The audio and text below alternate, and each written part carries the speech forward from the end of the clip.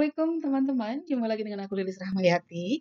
Kali ini kita akan coba mengganti background yang ada di belakang ini. Nah ini kan, misalnya nih kan backgroundnya privat ya gambar anak-anakku. Jadi sekarang misalnya kita mau ikut Zoom meeting dengan kantor atau yang lain kan nggak mungkin pakai background ini. Jadi mari kita lihat gimana caranya mengganti background ini. Nah teman-teman, Zoom meeting itu teman-teman bisa lihat tampilannya seperti ini ya.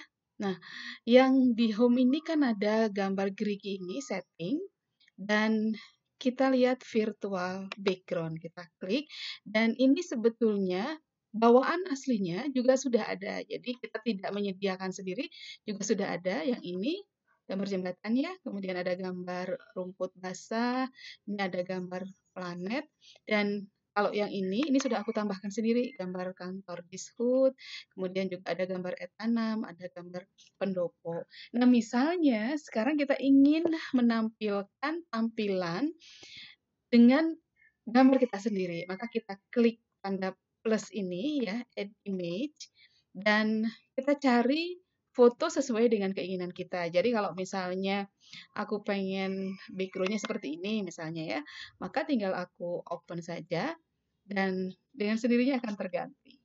Nah, seperti itu. Dan ini sudah selesai diganti. Syarat yang harus dipenuhi adalah teman-teman gunakan dinding yang warnanya solid. Jadi uh, satu warna kalau bisa. Sebetulnya kalaupun tidak satu warna bisa ya, tapi nanti biasanya ada gangguan pada gambarnya dan noise pada gambarnya. Tapi kalau teman-teman menggunakan gambar maaf, dinding yang warnanya misalnya putih saja, biru saja, kuning saja. Saya sekarang pakai hijau, green screen disebutnya, karena green screen biasanya memang yang sangat umum digunakan ketika kita ingin mengganti background.